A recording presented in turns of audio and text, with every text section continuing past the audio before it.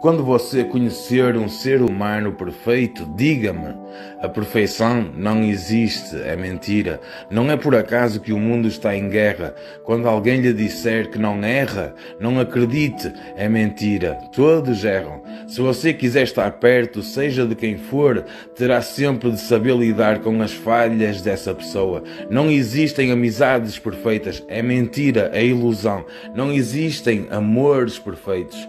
Haverão sempre discórdias de tempos em tempos.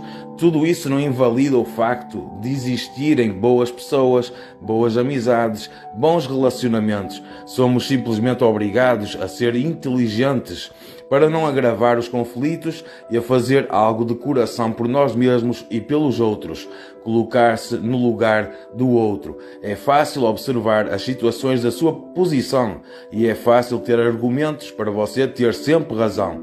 Porém, a razão numa guerra não existe e não está de nenhum lado, pois cientificamente a razão pode estar a 100% dos dois lados. Sofrer é inevitável, mas é obrigatório ser feliz.